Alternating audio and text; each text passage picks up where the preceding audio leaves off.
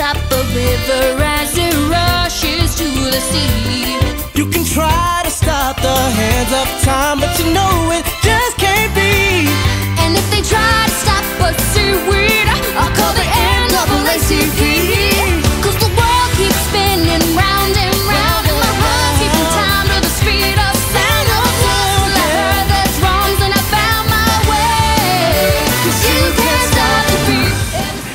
Y'all, y'all. It's Davina Devine here. I'm live in Dublin at Thursday Thursdays here at the George.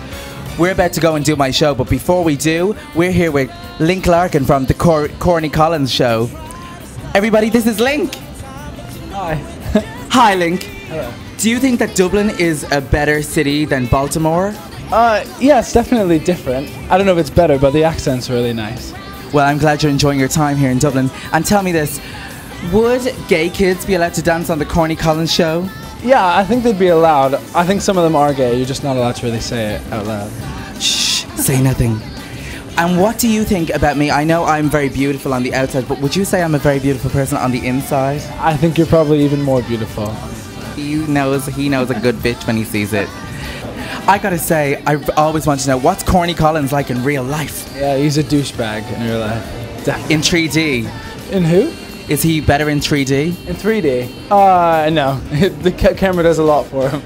I don't know if you're in Technicolor yet. I only have a black and white set, so I'm not really sure.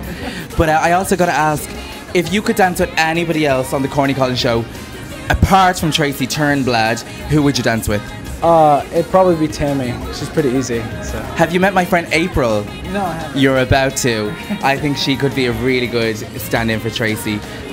Just one more question. I gotta always, I've always curious to know why do you think fools fall in love? Well, you know, wise men say. I do know. Wise men say you should always have your steak cooked medium rare. And I gotta say, just before we finish up here, it's been so lovely chatting. Tell us a little bit about the show. How long are you running?